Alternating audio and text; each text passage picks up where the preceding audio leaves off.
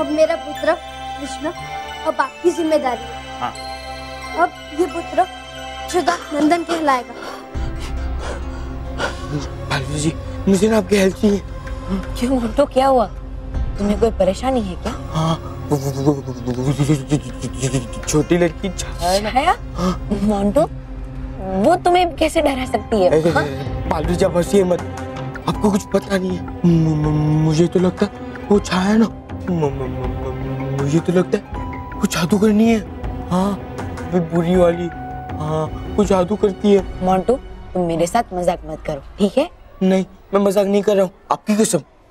माँ की कसम। हाँ। आप मेरी बात सुनिए।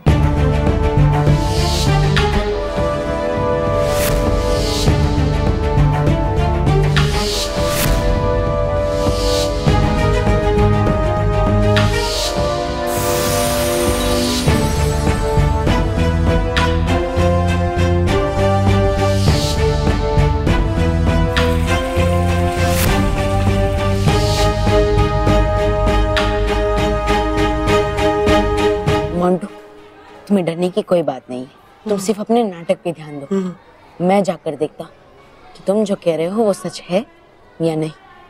ठीक है?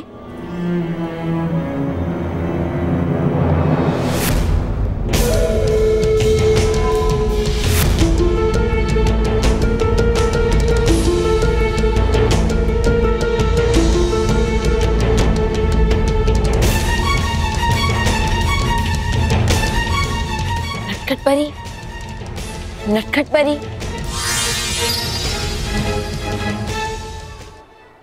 खुश रहो बालवीर खुश रहो। खुश रहो नटखट परी खुश रहो। क्या हुआ बालवीर?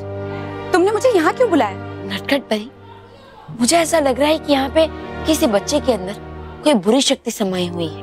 क्या? और इसलिए मैं चाहता हूँ कि आप एक बार सभी बच्चों की सुरक्षा जाँच कर लें। ठीक है बालवीर।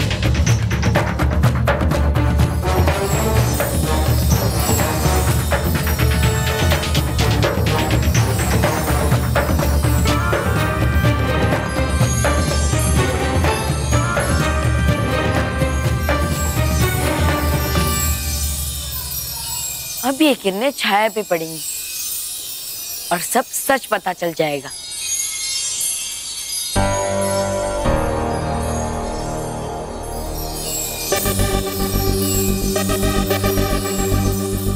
नहीं बात यहाँ कोई बुरी शक्ति नहीं है। तुम यूँ ही डर रहे थे।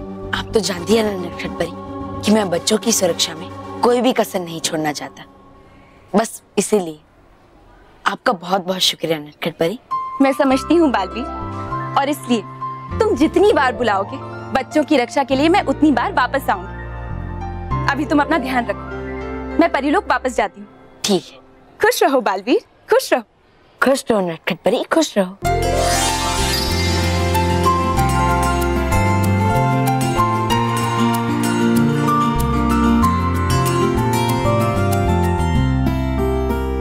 मोंटू? हाँ। मोंटू तुम्हें डरने की कोई ज़रूरत नहीं छाया को कोई जादू नहीं आता और ना ही वो कोई जादू करनी इसलिए चिंता की कोई बात नहीं है अब तुम अपने सिर्फ़ नाटक पे ध्यान दो ठीक है बड़ी आसानी से तुम छाया की माया में फंस गए बालवीर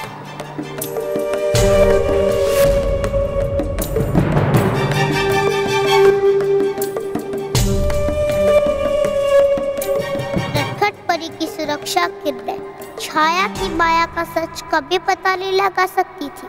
क्योंकि मेरी जादुई शक्ति तो मेरी छाया में है और उनपे तो नटखट परी की सुरक्षा करने पड़ी ही नहीं। तुम्हारी कोशिश तो कामयाब नहीं हुई, लेकिन कल कृष्ण लीला में औरतों का रूप लेकर मैं तुम्हारा अंत ज़रूर करूँ। इस बार जन्माष्टमी पे कंस की नहीं कृष्ण की लीला समाप्त होगी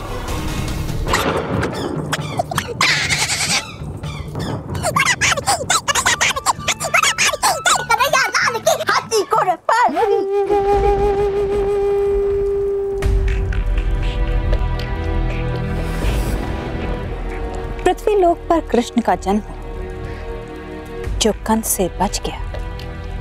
लेकिन ये सब तो इतिहास की कथाएँ हैं। जिन्हें कोई बदल नहीं सकता। लेकिन इस जन्माष्टमी, हम नया इतिहास रचेंगे।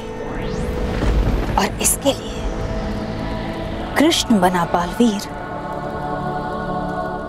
तुम्हारे हाथों बचना नहीं चाहिए। तुम जाओ छाया परी जाओ और कंस बनकर उस बालवीर का अंत कर दो। छाया छाया।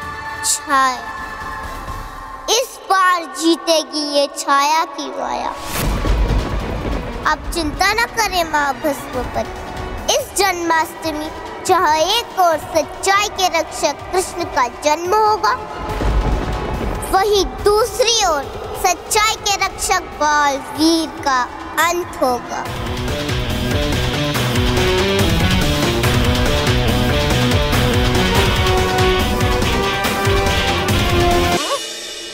सुना? सुना आपने हुई थी? कैसे वो आकाशवाणी? जो बता रही थी कब और कैसे होगा कंस का अंत पता नहीं कब होगी ऐसी कोई आकाशवाणी जो बताएगी कब और कैसे बनूँगा मैं प्रधान। समाधान? मेरी समस्या का समाधान? आपके दुश्मनों का अंत? था ये। इस जन्माष्टमी ऐसा ही होगा। मुझे पूरा विश्वास है कि कुछ ही देर में अपना काम छाया परी ज़रूर पूरा करेगी। बड़ी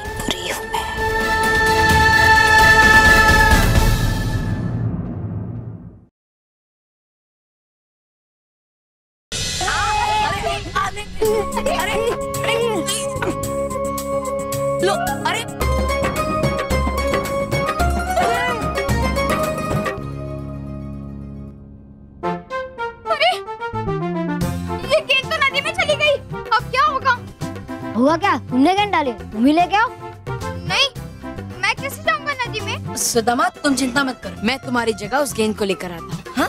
नहीं किसना? तुम नहीं जाओगे क्योंकि इस नदी में कालिया नाग रहता है जो बहुत ही खतरनाक है। तुम चिंता मत करो सुदामा। मैं कालिया नाग से नहीं डरता मुझे मालूम है किसना। तुम बहुत बड़े वीर हो लेकिन अगर तुम्हारे मैया को पता चल गया तो वो तुमसे बहुत गुस्सा होंगी। मैं मैया को मना लूँगा सुदामा। हम्म? किसी को डरा कर किसी को धमका कर उसकी चीज़ अपनी बनाना गलत है। और उसी तरह किसी से डरकर अपनी चीज़ वापस ला लेना, वो भी गलत है। और इसीलिए मैं अपनी गेंद को वापस लेकर आऊँगा। चाहे उसके लिए मुझे कालिया नाग से क्यों ना लड़ना पड़े। लेकिन किसना